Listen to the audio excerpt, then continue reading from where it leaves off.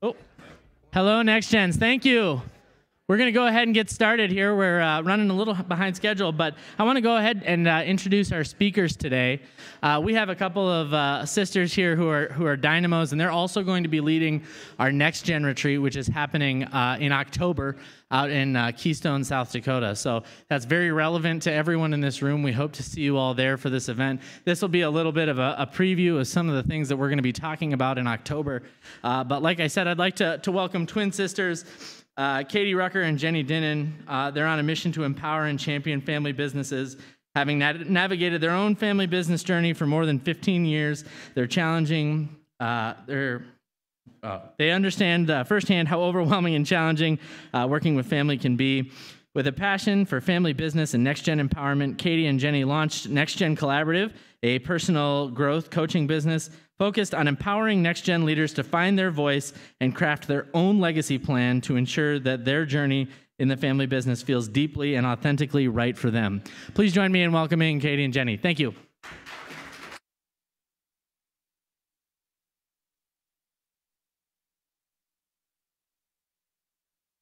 Hey, everybody hear us? Oh, man.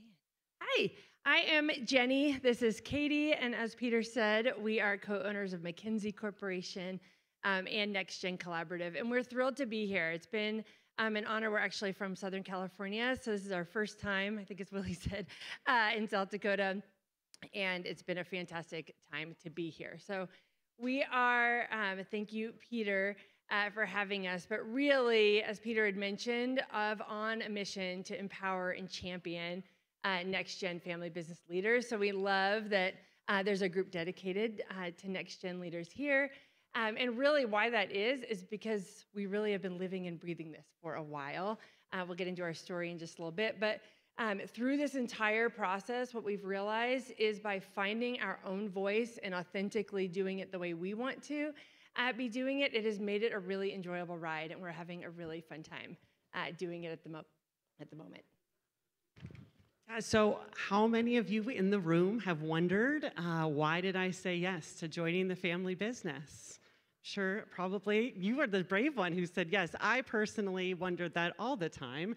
Um, I actually quit multiple times, said to Jenny, uh, This place is sucking the soul out of me. I don't know if I actually want to be here anymore. So, really, our journey through family business. So, again, our dad started, and we'll tell a little bit about that, but our dad started the company in 1985. We took over about 15 years ago. So, we're a G2 family business um, of our main company. And then, like Peter said, we started Next Gen Collaborative.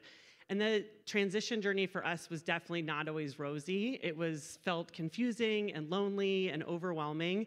Um, you know, just like probably a lot of you, we had to navigate what the role, what our roles were as we got into leadership roles, what co-presidency is. So we share the number one role. It's a different kind of model than maybe a lot of businesses, but we had to figure that out. We had to navigate what things were with our dad. You know, he's an entrepreneur. His, we always say he has two passions in life data, so we're a customer insights market research firm, and his two girls. So if he can have numbers and his two kids in one building, that's where he wants to be. And then when he decided to leave the company, he thought he did. And then we were inside the building and he was outside the building, and it wasn't as cool anymore for him. And so he's been actually out of the business and off the payroll for over five years, and he's really struggling still in retirement. So now wearing the family hat, we're trying to help him figure out what comes next. We also had to navigate kind of the messy middle of things with legacy employees. We have a team members who have been with us for over 25, almost 30 years. And so when you come in as a second gen or a third or wherever you are, thinking about what the culture is going to look like so that it feels authentic to you was a big shift for our legacy employees. And as we started having to also navigate what uh, markets we were going to be doing, services we were going to be offering, and really to be able to stay relevant, that was just a journey that we had to have with those employees as well. So, definitely for us, being a next gen was not always an easy ride at all.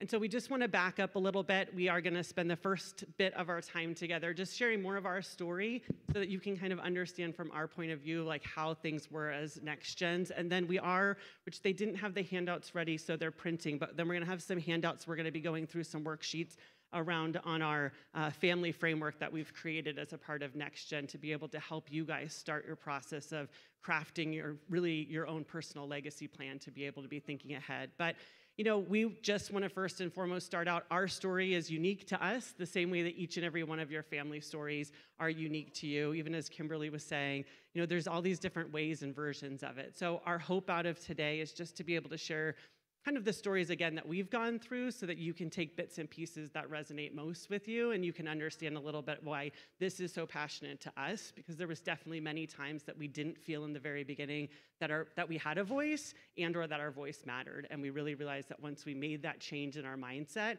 and realized that we do have a right to be able to have a voice at the table and that if we can have our own visions with what we're doing um, the whole ride becomes a whole lot more enjoyable so, a little bit more about each one of us. So, like I said, I'm a, a twin, I'm a mom, um, have two daughters. So, I have a third grader and a seventh grader. I think they're nine and 12. I feel like the ages, sometimes the grades are easier. Um, business owner. We live in Orange County, California.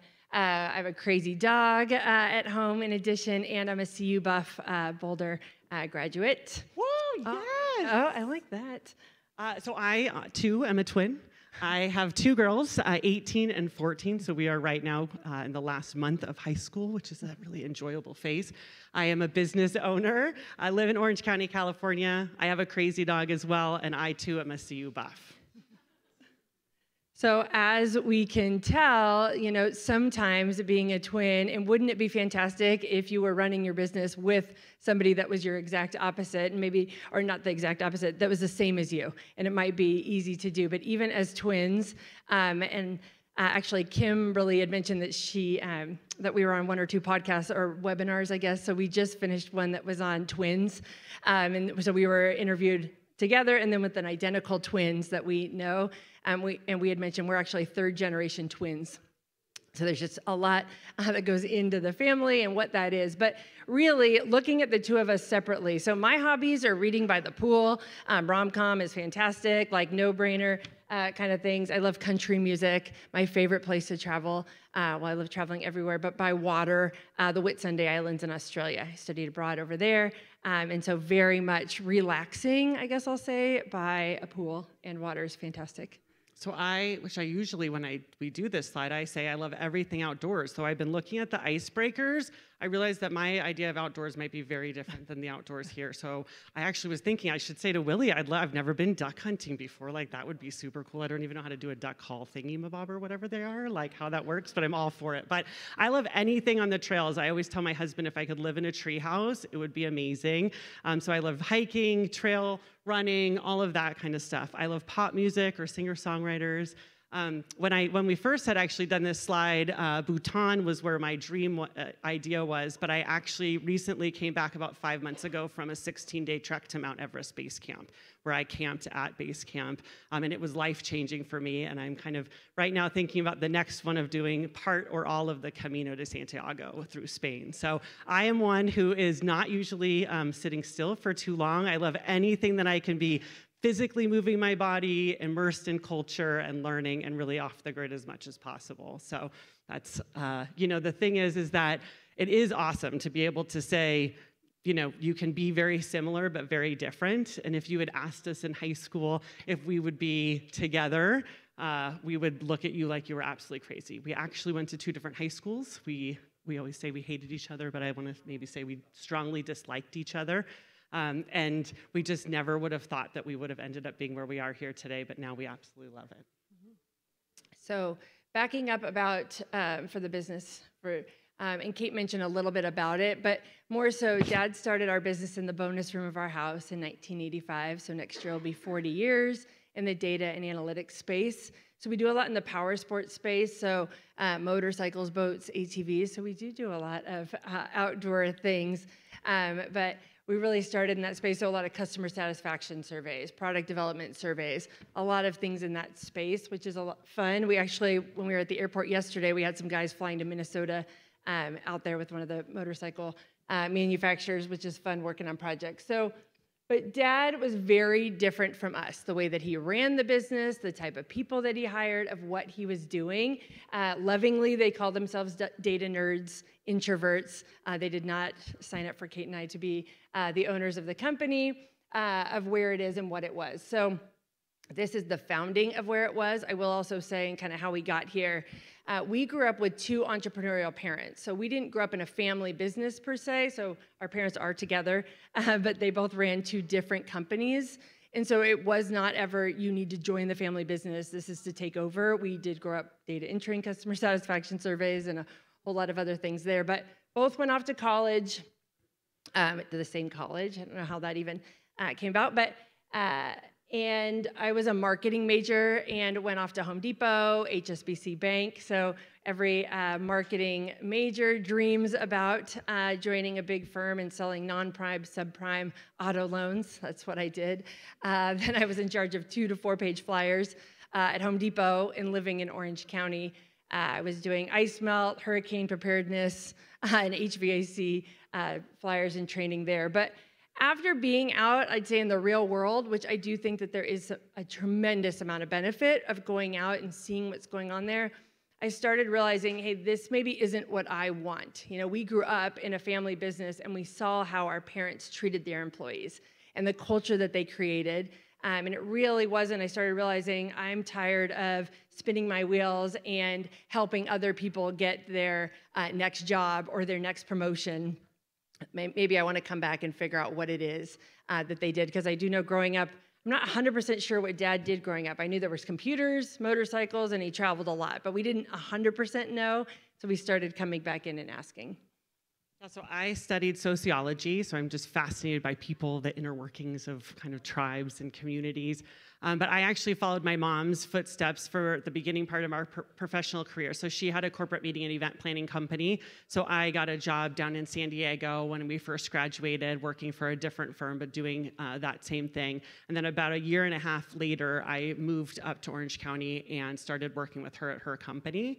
Uh, we closed her business down in 2008, actually, as our speaker was talking about, when the economy wasn't so great and businesses weren't spending as much money on that. And she originally said, Don't you want to take it over? And I'm like, No.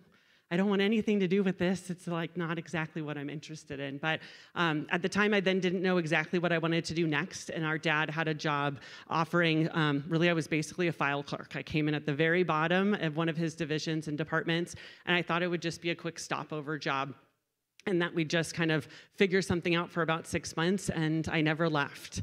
Uh, and I think too, like as Jenny said, I, we both had different paths in there. Jenny was worked there, and then she left, and then came back.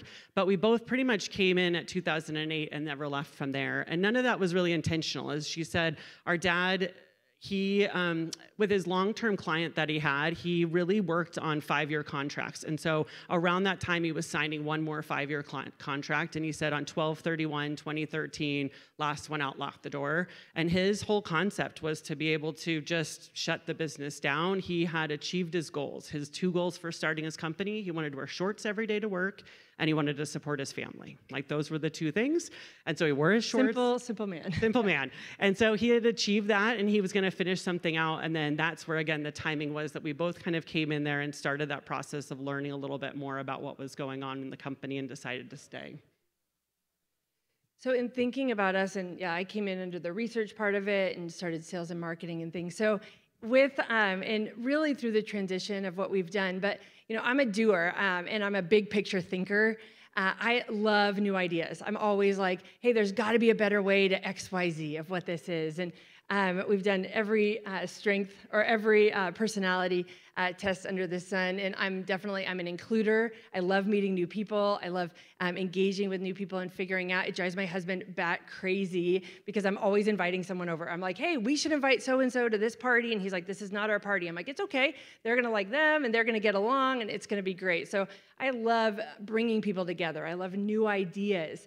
I love thinking about how do we start. Um, you know, my uh, one of them we wrote our purpose statement a long time ago, and it's uh, to rally people together to empower brands to reach their audacious goals. Like I don't really have interest in status quo. I'm always thinking of the next big thing that we've got going on. So one of the things. Um, and in looking at the company and kind of where, and this is where we're going, um, in just a little bit, but started to see we didn't have that at the company. You know, we kind of say that dad caught lightning in a bottle with this company of where he started. I'll say starting uh, a data analytics firm uh, 40 years ago uh, to now.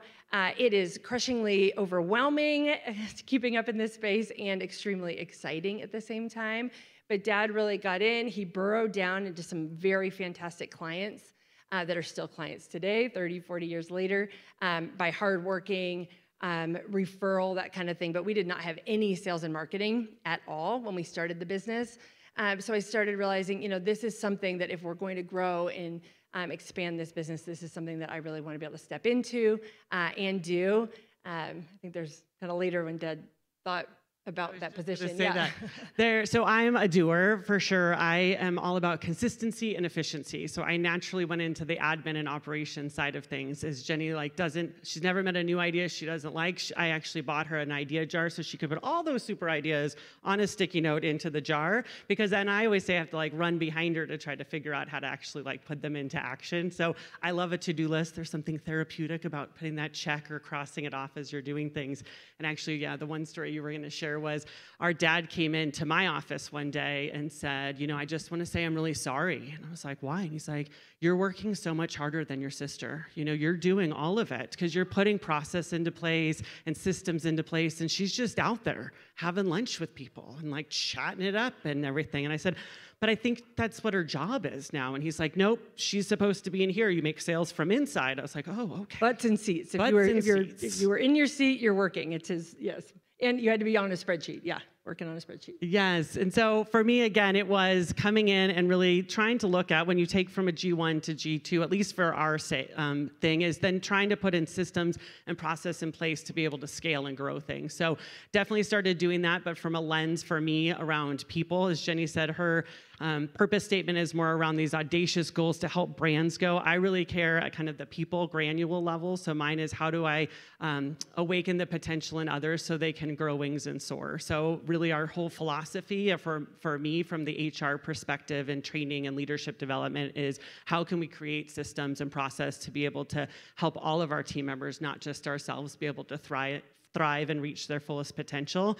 And again, as we kind of talked about in the beginning, that was fundamentally different than what, how our dad did things. He's like, this is your job, this is how you're gonna be. So they never did any sort of leadership training, never any sort of coaching and that kind of thing. So even in the beginning of starting to come up with these ideas, uh, the team just kind of stared at us like, I don't know what you're talking about. So we just had the job description when she was saying next door, that was not a thing. Team meetings were not a thing. I mean, it was a whole different world and culture. Yeah, but as we were also starting to, because again, as we said, we really didn't get along. So we're starting to figure out how each of us are a little bit different and those types of things and trying to figure out what a co-leadership role might look like. And probably that's coming because we are twins so we're always used to doing things together. But for me i always thought that i would make a great number two. I really defined that ceo role like in my mind whether it's right or wrong is that it was based on innovation and ideation. Like that's what the ceo's job was and i didn't think that those were the strengths that i had. Yeah so i think that um, we're going to the next Mm, nope. Yep. So I think then really one of the biggest areas that Jenny was concerned then about mm. is she would come up with these new ideas, and this is like kind of comes back that I love a to-do list. And so if Jenny was really concerned about saying, you know, I have all these ideas and I could be great up here and doing these kinds of things, but I'm not good at actually making these things happen. And she was really afraid of offending me. And I was like, ooh, bring me more problems to solve. So we started really being able to figure out how can we work together and those types of things. I think I, that's that was definitely a very big kind of keep touching on this, but being able to come to Kate to say, you know, this is what I want to be doing. What do you want to be doing? And how does this work together? And starting to realize for the company that we wanted to be growing going forward, um, we needed to figure out this blend between the two of our leadership styles. Like, I don't know how now people run a business without their exact opposite. I mean, I don't, the business would not work if it was all new ideas all the time, um, and it probably wouldn't work if you were only implementing what was happening in front of us. So we really worked on figuring out that kind of co leadership together. Yeah, and I think another really big thing that we did, and so again, we're sharing all of this so you can kind of understand what got us to where we are today about being able to really articulate what our voice is. But for us also, we realized that a big pivot point for us was we all have our narratives that we bring with us, right? That we grew up with these comparisons or these ideas. And so for me, I whether explicitly said from our parents or not, which I think was actually even talking kind of about that favoritism thing. So Jenny was the captain of the cheerleading squad. She was the ASB president. She went to business school, and I was the total opposite of that. Um, and so then, why we didn't get along. Which is why we didn't get along. Um, and so I think some of that was there's there's all of that. We just are going to either keep those narratives and that family dynamics with us, or we had to start figuring out how to put some of that on the table. And I recently read this awesome book, and there was this uh, metaphor that I really have like related to this thing where he talked about how we all carry our baggage through life with us, and that we actually have the opportunity to put our baggage down and like just rest. But in my mind, I actually was thinking, like, you think about your baggage, you maybe have like your little rolly suitcase where the wheel's a little janky, but you don't go out traveling too, too often. So you just deal with it and you like bring it with you. But that thought that we actually can like put all of that baggage down on the ground and or out on the table as we start having brave conversations with our family members and say what baggage or what luggage? And even that language scenario i don't want the baggage anymore. I want some new awesome luggage. So even like my trek to base camp i had to get this awesome new backpack. But you have to be minimal about what you can actually put in the backpack because you're carrying it for 16 days and so then I can actually say what parts of my like history and story. It doesn't mean that that's ignored or forgotten completely about, but I don't have to carry the weight of that history around with us. And I can actually say, what new luggage do I want going forward on this new path? And that's been like a really big thing. And so we started really being able to realize we have this really awesome opportunity to work together to keep our family legacy and our family business going forward. But to be able to successfully do that, we either were going to continue competing with each other, fighting for the top role, that in the end, neither of us want it alone. We both want to be home, like we want to work four days a week so we can be home with our young kids. We want to do all these things. We realized that we didn't need to let our egos get in the way, that we had this opportunity to get to know each other for our strengths and our passions and our quirky personalities and the strengths that we have today. And that we realized that we that we have like a new friend, you know, like our siblings and our family members can actually become our friends and our cheerleaders and our confidants in a positive way. So that was just a really big process that we had to go through to get through all of this, that that really made like a massive difference for us. So I do think, you know, through this process, and you know, if, if, you would have asked us a long time ago, I don't think we would have said that this is a good thing. But I will say, through all of the, um, and we're fast forwarding, I'm going to share just a little bit more about the journey, but we are so happy and excited that we have gone through this kind of the, the pain and the struggle and all the times that Kate would call me quitting. Uh, she would come back uh, always, which is nice, thank you.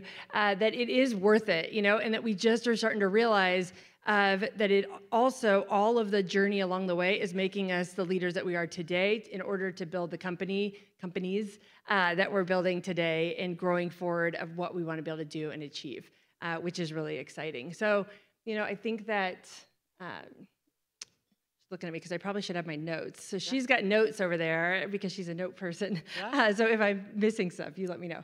Um, That's okay. So here we were talking just a little bit about the messy middle, about our transition yeah. here.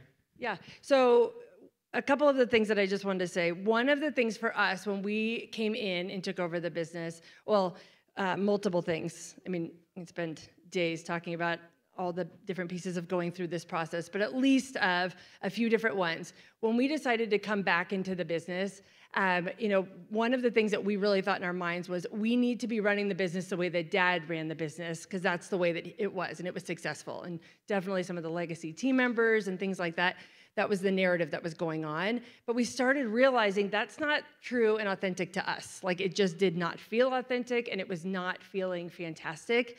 Um, I was definitely sitting in my dad's um, old office and in his desk, and I was thinking, I cannot work on spreadsheets all day long, every day, because that's what we were doing. That's what dad did, and I had that job.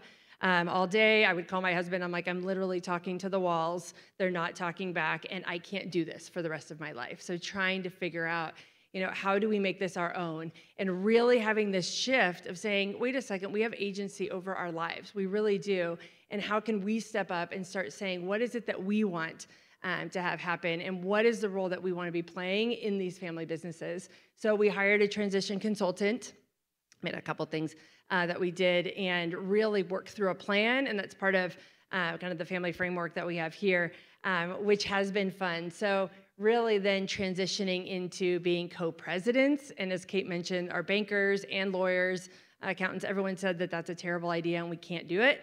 Uh, and then we said, well, why not? This is our business. We can do uh, what we want to. And we do now, and it's uh, fantastic. So, running, uh, being co presidents, and just last year becoming entrepreneurs and starting our own business, uh, which has been really fun and exciting because why not run two businesses uh, together instead of just one as we're through this? Yeah, and I think really, as Jen said, our biggest thing, because again, we could talk about kind of sibling partnerships, succession, all of that stuff for a really long time, but our number one thing is that realizing because actually why i kept quitting was because i just start i was trying again to do things the way my dad did or we just kept butting heads and realizing that things just weren't going to work out you know but then i always say I said, I get one shot at this life, so it might as well be amazing. Like, we might as well just try to make it and make ourselves as happy as possible. And we can feel obligated to be a part of the family business, or we can feel whatever, but in the end, we still have to own that decision. And then we have to decide how we want to move forward from it. And so, either we can start crafting what our own voice is and being able to do those types of things. And I know that sometimes that doesn't always feel easy.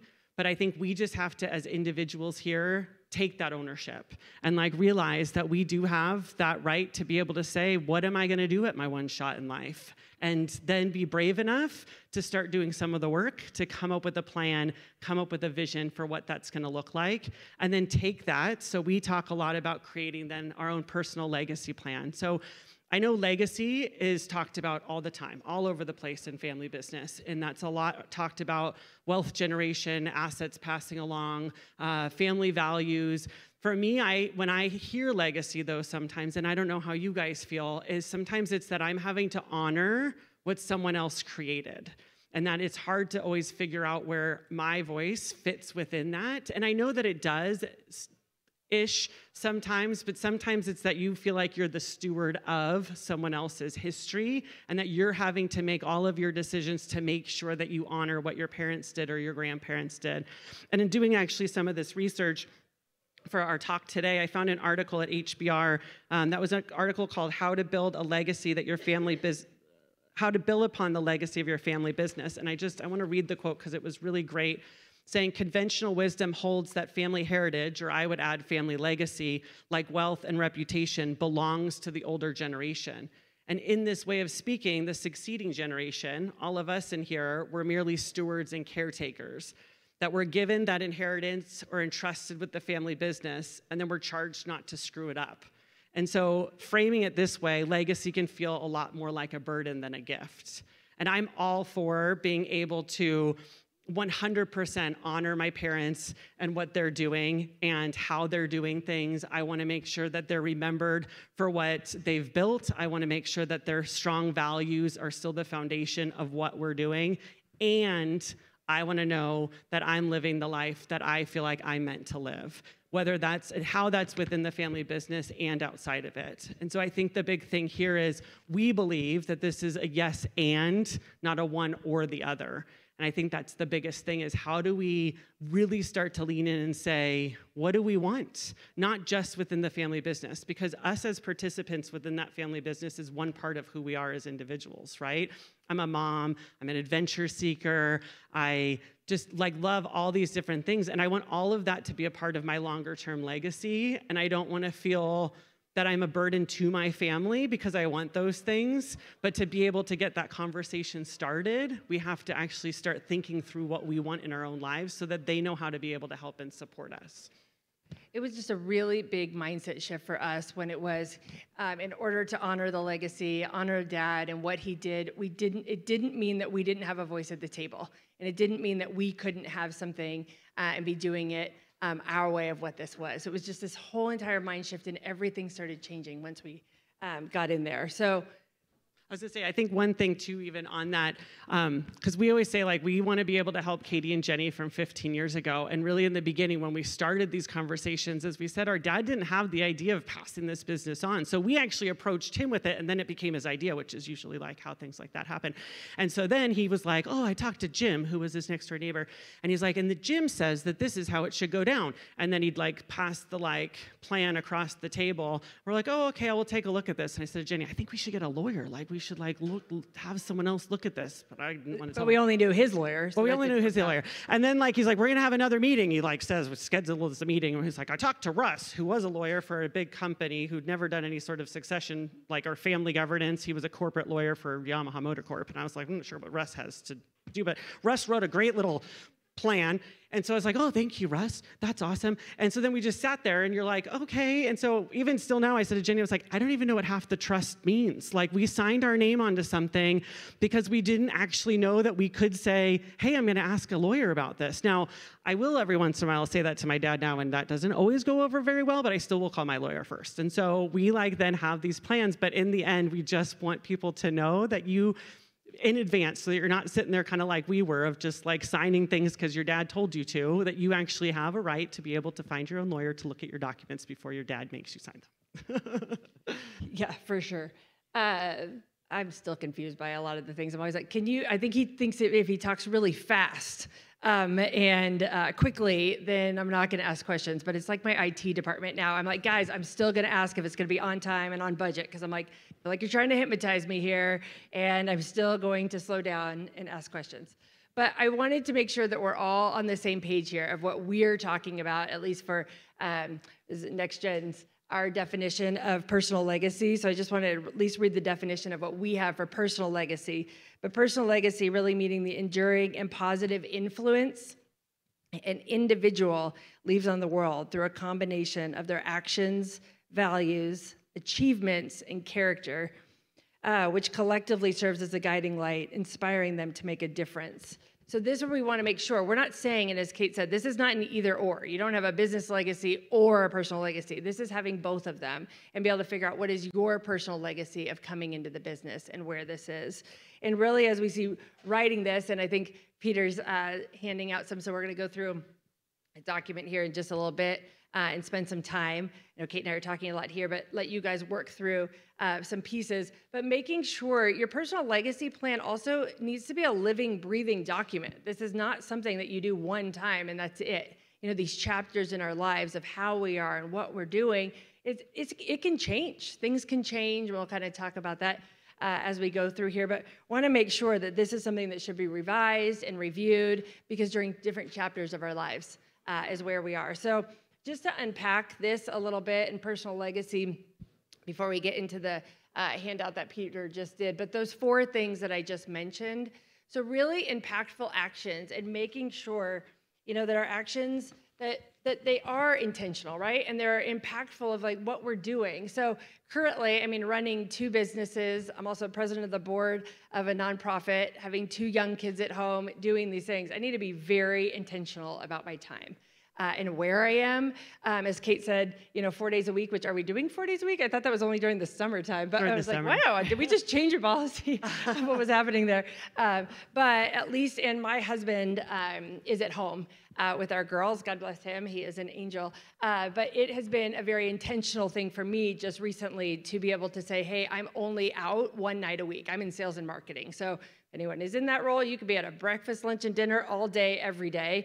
Um, and my husband says, You never say no to anything. I said, Honey, if you had any concept of everything that I say no to, you only hear about the things I say yes to. But I have recently, in the last you know, six months, said I'm only out one night a week away from my girls, except for when I'm traveling for this type of thing.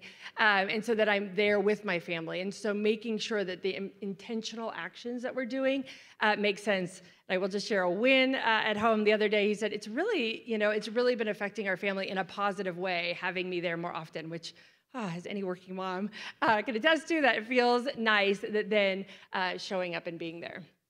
Yeah, and so then we want our achievements to be significant. And it doesn't have to, again, be these big, huge, audacious goals. It's just that we want to make sure that they're significant in ways, again, in alignment even with our intentional actions. We want to make sure that we're being mindful about what we want to achieve and where our growth opportunities are. And that's one of the great things, too, about, and we'll work more at the Next Gen conference to be able to come up with a plan of being able to say, where am I today and where do I want to get to so that you can start taking some aligned actions there. And again, even as I said, said, I working almost my whole professional career, so I know this is actually a lot of times next gens have to go work somewhere else.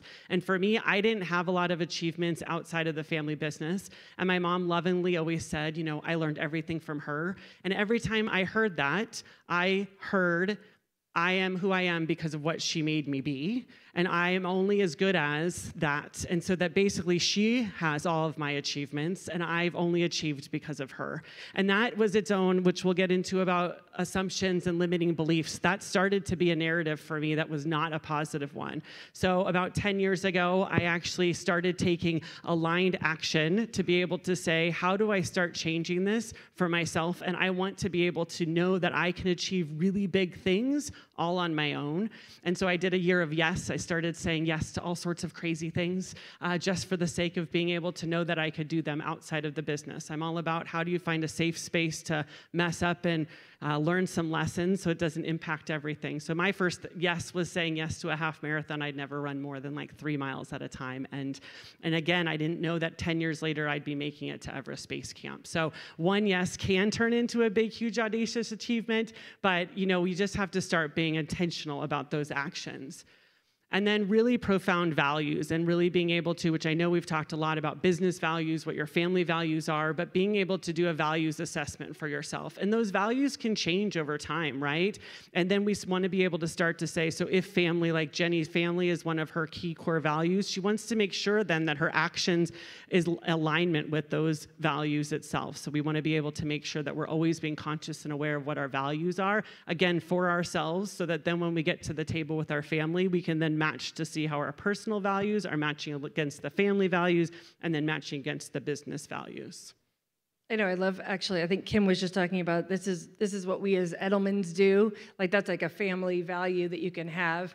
Uh, where she was just talking a little bit about that, but it's okay to have a personal values too. And then okay, then where are you and what really matters? Uh, which I think then goes back to then that unwavering character. You know, for us, and I always want to make sure then how do people describe me when I'm not in the room? You know, I want that to be consistent. I want it to be consistent in good times and in bad times of your character, of how we are, how we show up, and just realizing how much agency we have over our lives as we're creating these plans uh, going forward um, in there. So uh, I know that Peter, it's like bizarre because I can't see a ton with the lights up here, but uh, I think that he handed out uh, a worksheet that we're going to go into a little bit. So we created the family framework um, at Next Gen Collaborative, which we'll get into um, each one of these sessions and uh, take some breaks here. But we wanted to make sure that this was a, a purposeful uh, plan and really introspective to be able to figure out what is it that you want right in your life and where do, where are we at today? Uh, where are we at going to be going forward? Um, and making sure that we're being intentional about that, what that is. And so walking through each one of these. So we're going to be walking through family, uh, family dynamics, and futures. We kind of cheated a little bit and put two F's in there. Um, we uh, assumptions, mindset, identity, legacy uh, for each one of these and making sure. So, as we're going through, uh, we're going to talk about a few of them, um, have a break, you know, five minutes, however many minutes to be able to do. This really is a personal thing. I don't know who's, we didn't say don't sit with your family members or anything. But as you're going through, this is a personal legacy plan for you. Uh, but it is fantastic to share with others to start. You know, what is it that's here? What are you hearing from others? What what are they hearing? So that we can start really challenging each other, learning from others, and figuring out what's happening. So definitely, while you're doing this um, of sharing, we won't make you stand up and say, "This is my." Uh, big life goals that are happening. And I just want to say, too, uh, with Kate, even with those achievements of where we're here, because it doesn't have to be this massive thing. I mean, I have zero. Everyone says, okay, when are you going to Everest next? Not. Not doing it, not going to happen.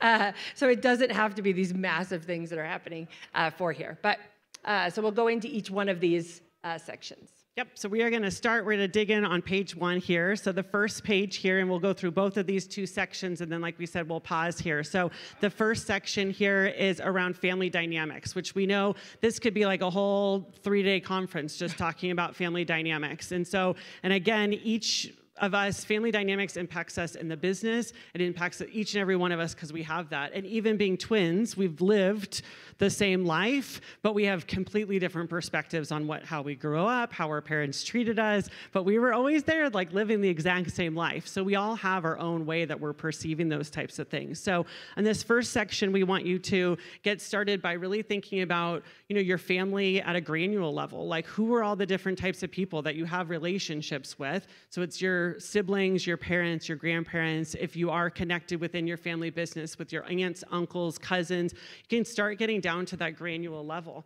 And then we have different kinds of questions to be able to think about here. So, what are some of those key drivers that impact who you are today within those family businesses? Are there unwritten rules that happen within that? You know, are you, and is one of the roles that you have to play, you're the ringleader, like all your brothers and sisters call you and ask you what mom wants for Christmas. And you just are that person. Now, that may not be what the role that you want to be playing, but that's what the role is today. You know, how do you describe uh, communication in your family today? How do you describe trust today? Um, are there clear lines between family and the business in itself? How do you feel supported right now um, by all these different layers within your family on your own personal individual goals? Do you feel support from maybe one person but not others? So, again, this is a lot, probably way more than we're going to be able to dig into today, but we want you to at least get started on the process and then continue on with that uh, through the process or through it for some homework. And then the next one on well, the. And even just on that, just real quick. So I think if, if we're thinking about family dynamics, so is this, you know, at home? Is this at work? Like, yes, this is kind of whatever's coming up right now because we are family dynamics is a huge piece, right? This is not just, uh, and even thinking about every role that you're playing, because I know when I'm a daughter at work that I'm one thing, when I'm a sister at work, I'm one thing. So just as they're coming up, this is, does not need to be only when I'm in the office. So family dynamics as it relates to the family business um, is what we're talking about here. Yep. And then the second part of this uh, first page, which you'll actually see um, up at the top, it says a time frame up there. So the second part of this is thinking about our family dynamics, because we'll talk about futures on the next page, but thinking about family dynamics. Put a time frame here on the top of this. Is this that you want to start thinking about three years in the future, five years in the future, or it could be 12 months in the future? But if you had a magic wand and you could say what your family dynamics would look like, what would it look like? How would things change? How would your communication change? What would be a different role that you would have? How do you wish that you would get supported? How do you wish people would talk to you?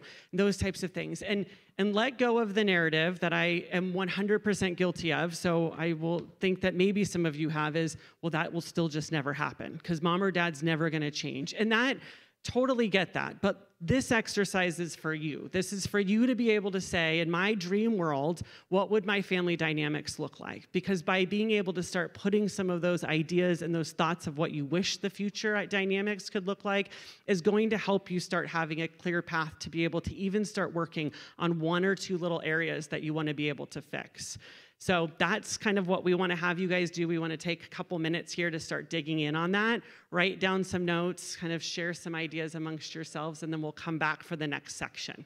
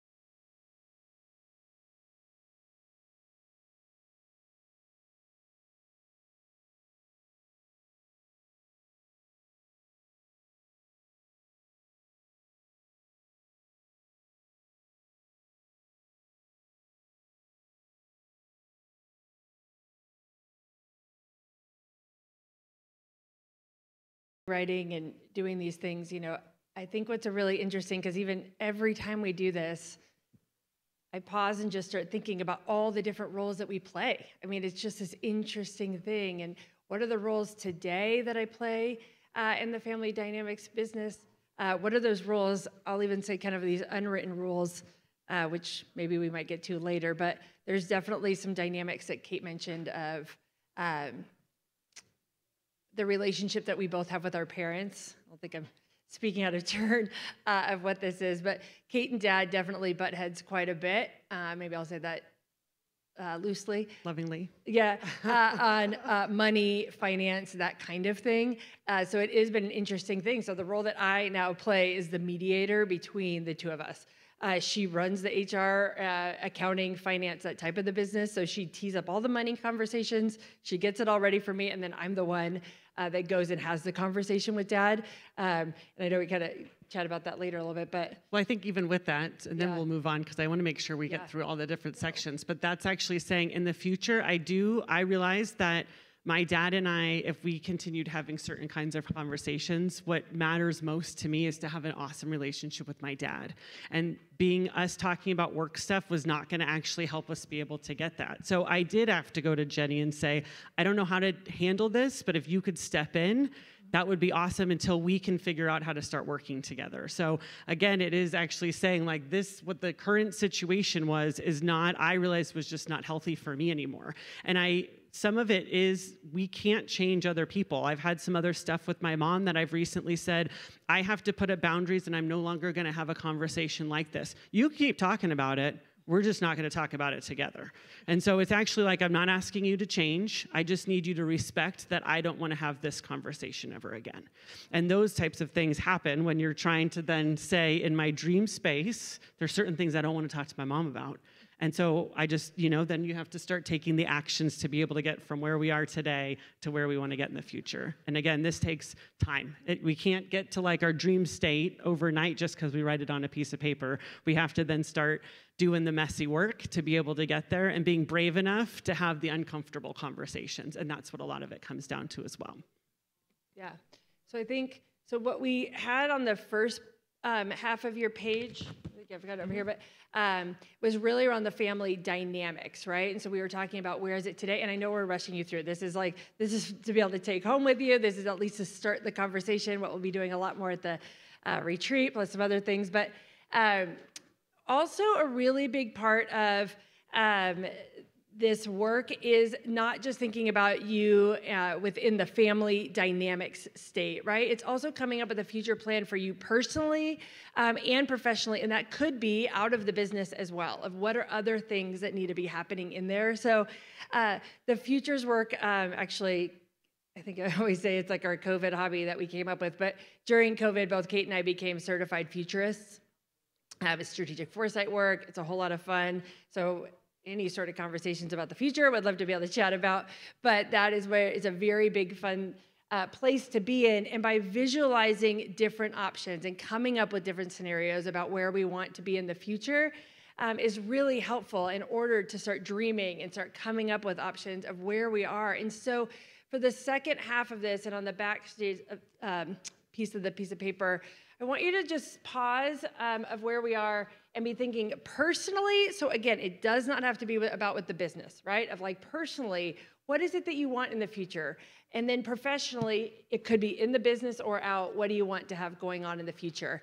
And sometimes what we put down here, because sometimes it's like, I have no idea where the future holds. I, I don't know what where I want to be. I mean, I don't think Kate would have thought I'm going to be climbing to Everest and do all these other crazy things that I'm sure she'll mention. She's kind of an all inner kind of person.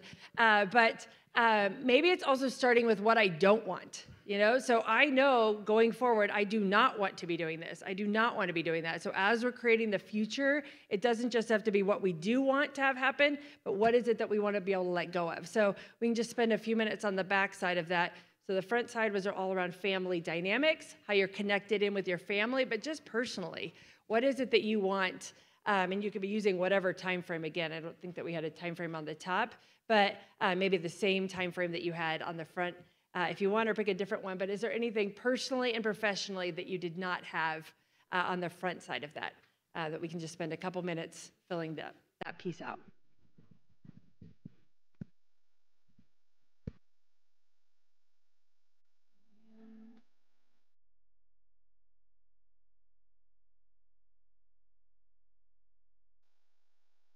Music, thank you.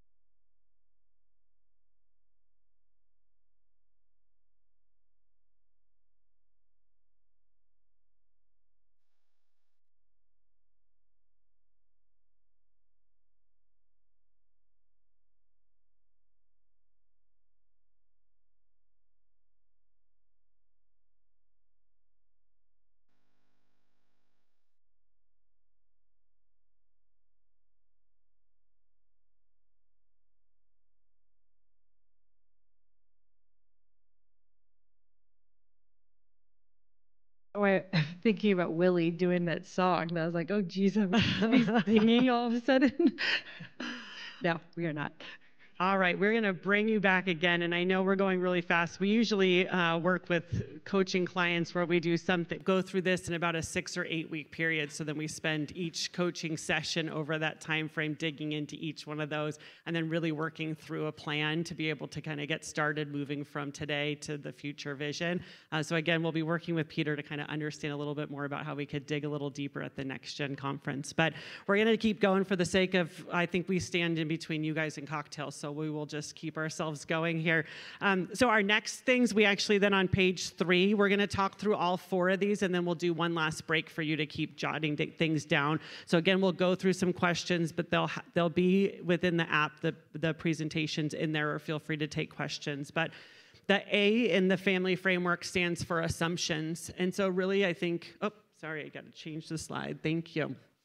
The A in assumption stands for, or the A in the family framework stands for assumptions, and we all have different assumptions, right? We have the assumption of um, things like my family won't support me, or they don't believe that I can do X, Y, Z, or whatever those different narratives are, right? And then we also have our own assumptions about ourselves or limiting beliefs. And so we're kind of packaging both of those under this A section. And limiting beliefs could be like I always said, I'm not a good writer, I'm not a runner, I'm not thinking. So I then wrote a little sticky note. It sits on my desk that says, I'm an amazing writer.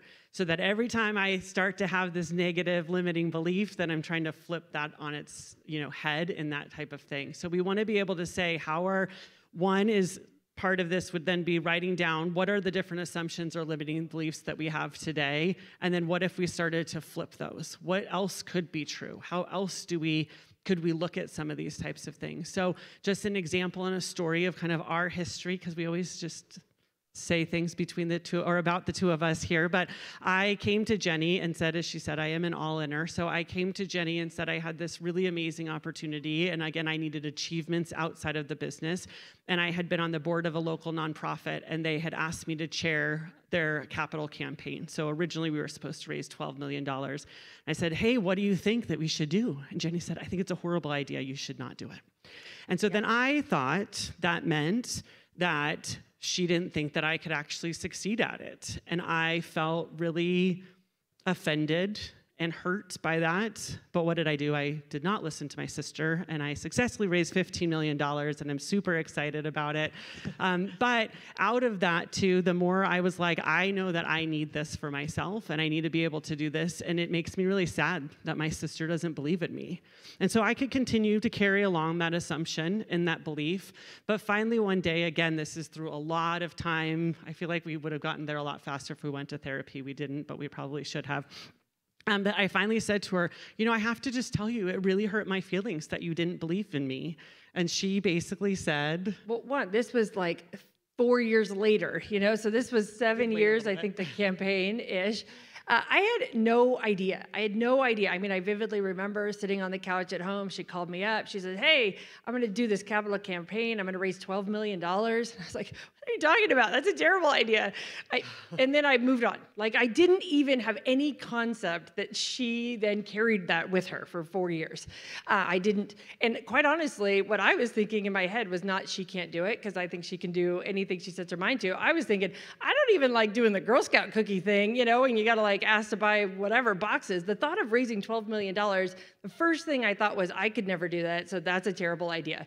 It was it had nothing to do with her. I will say the second thing did have a lot to do with her, but I more thought um, it's going to take you away from the business, and that is a full time job doing that. And so I think it's a terrible idea. Um, and of course, she did not listen. She signed up and did it. And um, but a few things came out of that. One, it was through a lot of different learning opportunities that now we put things on the table. But I didn't have any concept that she was carrying around this assumption that I didn't believe in her. For four years, she carried that around of what it was, which was a lot. I also have come to realize in an, another assumption of mine, and I think there's unconscious and conscious assumptions. I don't need in my, you know, in just being twins and how different we are, I don't need words of affirmation. Like it's it's not my thing. I don't need someone to be like, "Hey, good job, Jenny. Like you did a good job. You know, yay, you." That it just doesn't. It's not my thing. I don't need it for whatever. Um, and I had no concept that Katie needed it. Like she, like fanfare. She needs that. Bring me a banner that says I did a good job. Oh my gosh, I, I literally had no idea. So I didn't do it. I didn't tell her good job during the day because we're just doing our job and we're just doing our thing. I just didn't. It wasn't even like I thought that she needed what I needed. It was just that I didn't even think. Honestly, did not think. But she finally came, and I also didn't know that she needed wins outside the business because she didn't tell me. I worked outside the business, so I don't know if that's why I didn't need the wins, but I didn't think that she needed that. So we just learned a whole lot in this entire um, situation. One, if she would have come and presented this to me differently and said, hey, listen, Jenny, this means a lot to me that um, I need a win outside the business. Um, I'm looking to figure this out. This is the way that we're going to do it. This is how things would be I think things would have gone so much differently from that. And then Kate was honest enough at some point, and it was through the process to say, I need you, Jenny, to say, good job. I, well, and you used to say a little bit because it's always, you know, um, uh, there is a lot about what our family has done and you know on the on the shoulders of on the whatever shoulders of giants. There's a lot of things. And so there's a lot of like, thank you, dad, for this. And so always honoring the family. It's a big, big deal. And I don't have any problem with that. But finally, she said, I need a win of my own. And this was like, wait a second, she needs words of affirmation. She needs these things. And so then we started really coming out. But I just had no idea or concept that assumed that she was the same as me. I mean, we're twins and we could not be more different. yeah, so I think on the assumptions, and actually, even out of this exercise and this example, also comes back to us having to take ownership over the roles that we play in some of the stories that are out there, right?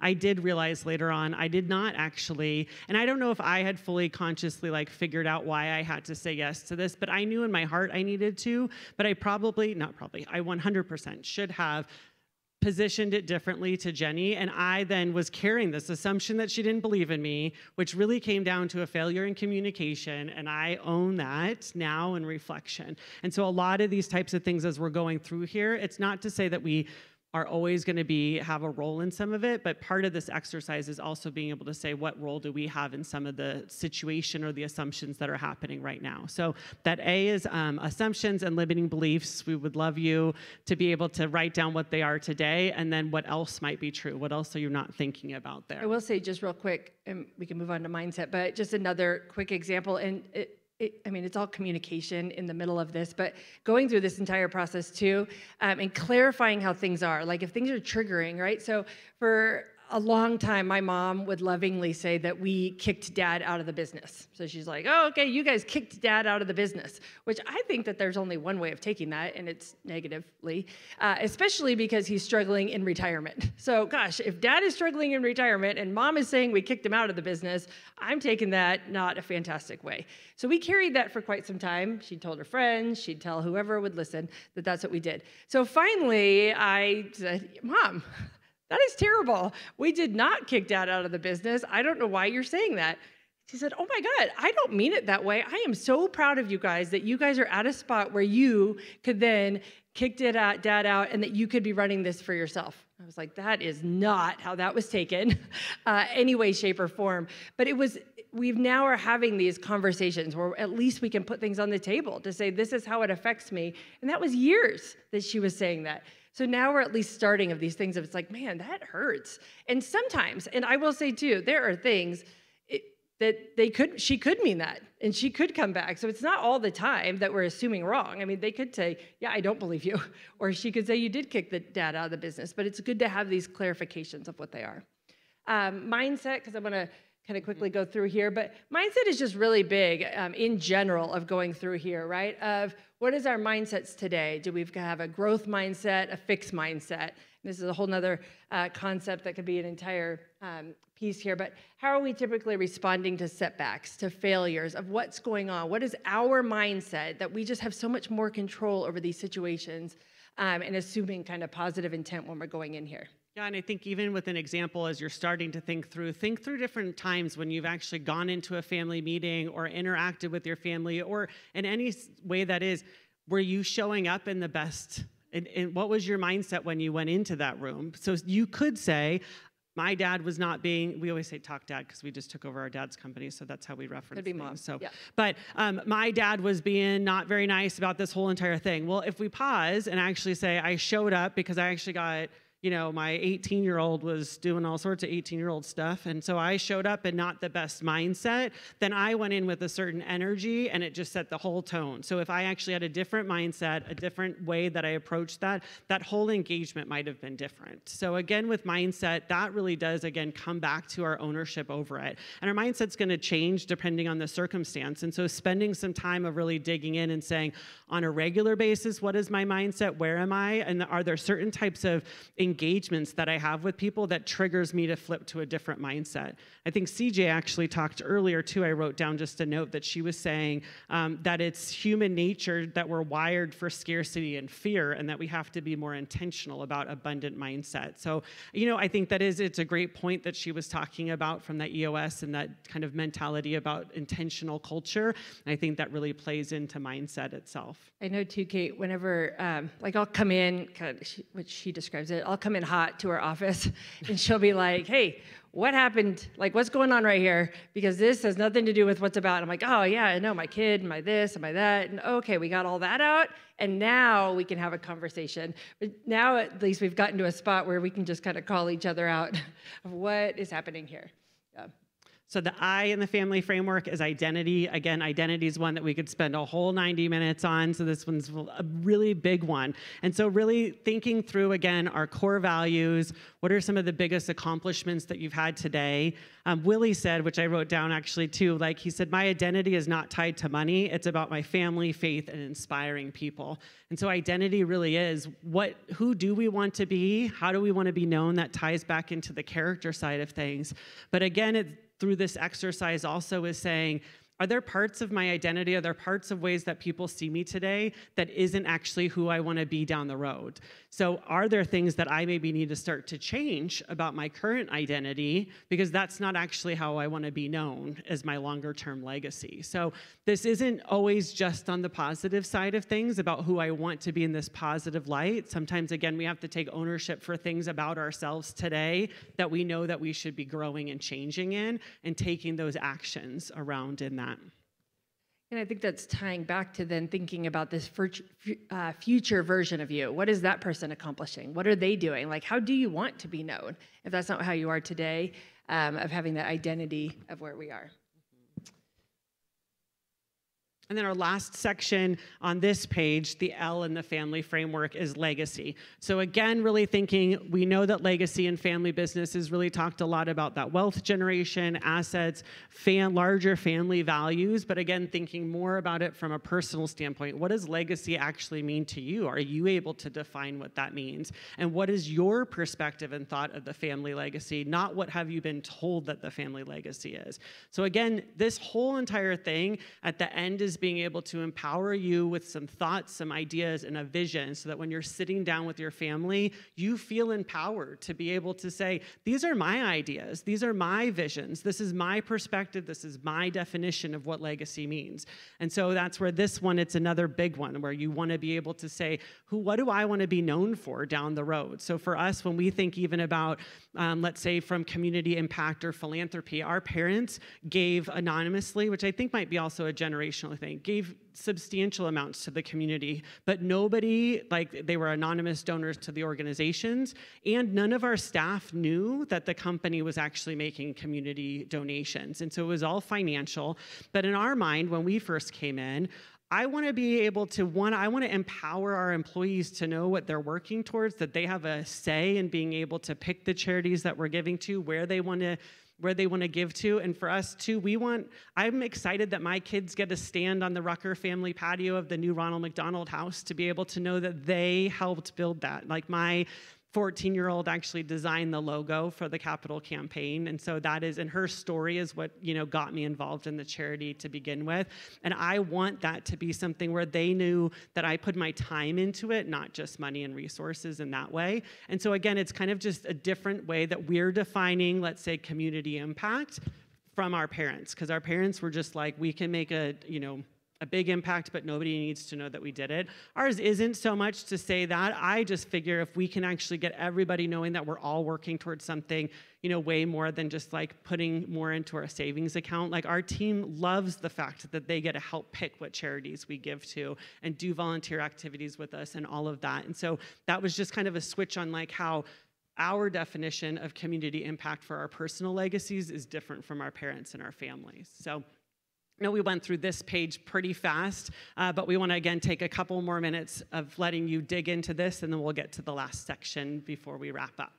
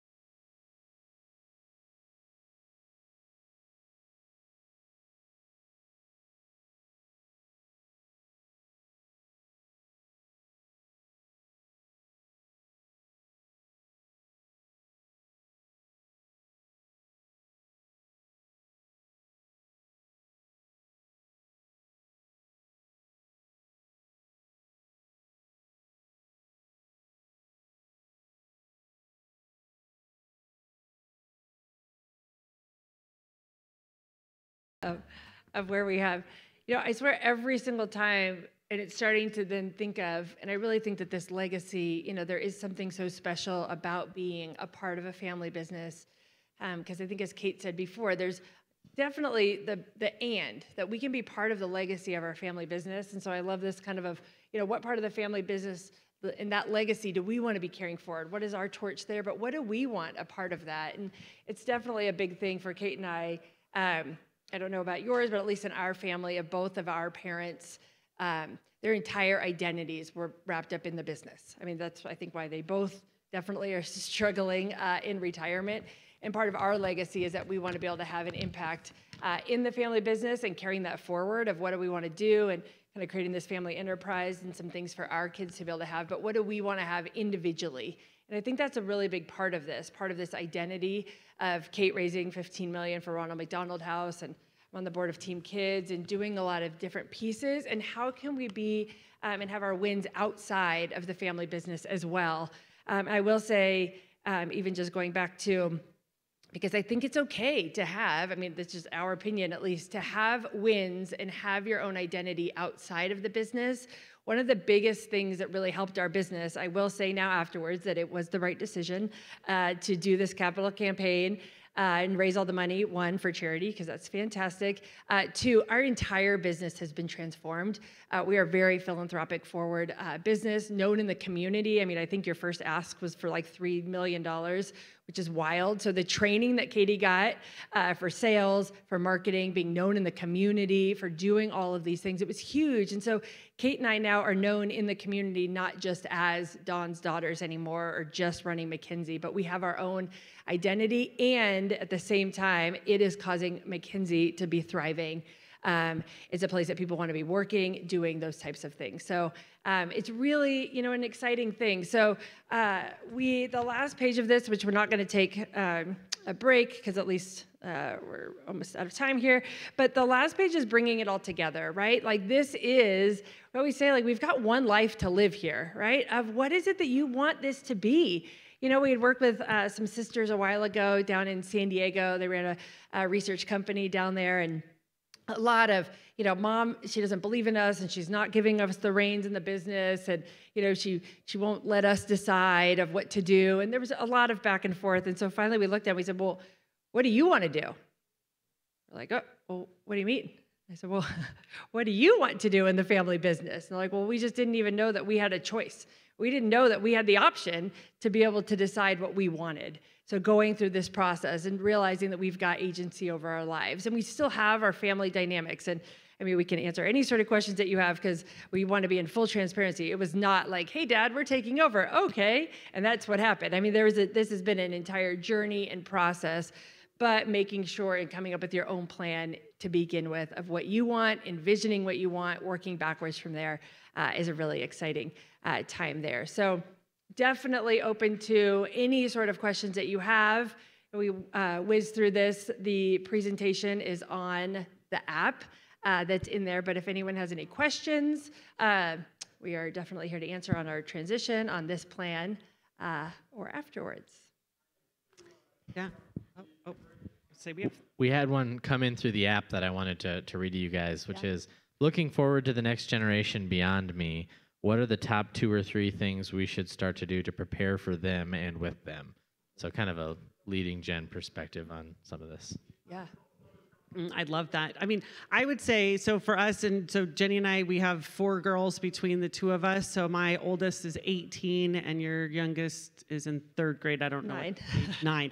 Um, and so we really, one, we share very openly and honestly with our kids, kind of just dyna- family dynamics. We talk a lot more about that. I think it's just different generations too. I mean, those younger kids, man, they know how to articulate their feelings a lot better than maybe all of us did. And they are very happy to tell you what they think and they're open to that. But we actually really do encourage those types of conversations. I mean, my young one tells me very strongly what she's comfortable with or not. And I said, listen, these are behaviors that I've been that I'd like to start doing, but I respect your opinion and I'd like to try to work to change that, but I'm not going to be able to change overnight. So I hope you can give me some grace. So we're also with our leading generation or that next like young, young ones, we're really trying to start shifting some of those family dynamics. Again, as Jenny said, uh, with our future stuff, we did a future family business project, and we were actually thinking, will family dynamics be fundamentally, or family communication be fundamentally different in maybe 50 years? Because again, these young ones are talking about things that we never you know, we weren't normally talking about, and our parents definitely didn't. So I think some of it is how we can start doing things to prepare. Is one is also asking them what they're interested in and being able to help them. I mean, the blessing of family businesses and even talking about innovation I, I've like mapped out business plans with my like she was 16 at the time and we came up with the whole plan and i was like all right she's like will you help me set up an etsy shop? I'm like i will totally help you set up with an etsy shop. Once you do a powerpoint presentation on what your marketing plan is your advertising plan and your growth plan is. And so she's like i don't know what that means. I'm like great go to google or chat gpt it's going to tell you. You know what? Weird she didn't actually do that and we didn't make an etsy plan but i then was saying if we want to come up with new ideas i am 100% here for it. You have to do a little bit of work before i'm going to do it. So i think we have these opportunities to pass innovation, business development, all these things down in ways that are obviously age, you know, um, appropriate for our kids. But there's a lot of things that we can start doing as parents now for our younger, like younger kids. I think also, I think that the in there when she was talking about with the Fredo uh, situation of maybe somebody that their passion isn't this business, it might not need to look exactly the way that you did it.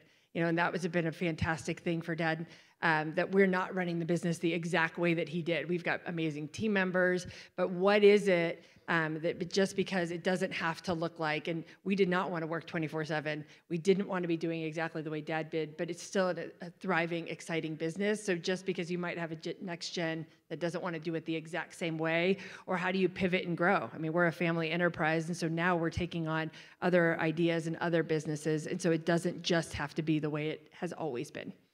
Um, yeah maybe one more question, one or two more questions in the room. Anyone?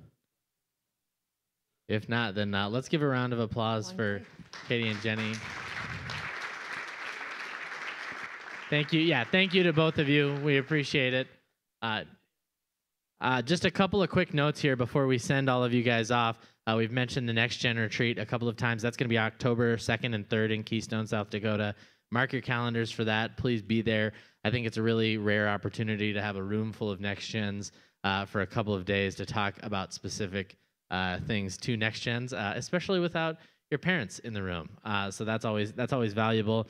Um, later on this evening at 5:30, so in just a little under an hour, we're all going to be meeting at Monic Yards for Taste of Family Business. We have a gourmet menu of uh, food put together with uh, family business items. So a bunch of family uh, ag producers, and so everything from from ice cream to to buffalo is going to be on the menu. So please do please do and buns. Those buns are gonna are gonna be there. I can't forget about the buns. Um, so that's that's gonna be great. It's happening at Monic Yards at 5:30. Please be there. It's included in your ticket, so just show up. It'll be it'll be a great time. And then the uh, last thing that I want to mention is tomorrow morning at 7:30 uh, in this room, so the big room, there's going to be roundtables uh, with our sponsors. So this is a great opportunity to go and connect with our sponsors about the topics that they have their tables set up around. Uh, like Stephanie mentioned earlier, there's no hourly rate associated with those tables, so it's a really great opportunity to ask questions of uh, these these professional advisors who are all here specifically to serve family businesses. That's why they plug into PFBA in the first place. Is that's their uh, that's their focus. So really take advantage of that. There's a really valuable opportunity. Like Stephanie said, uh, divide and conquer. You know, try and hit a lot of them. You know, take your family and, and, and see how many you can you can talk to because it'll it's a very valuable time. But with that, thank you to the two of you. Very valuable. We're looking forward to seeing you in October. And thank you uh, all one more time. Round of applause for these two.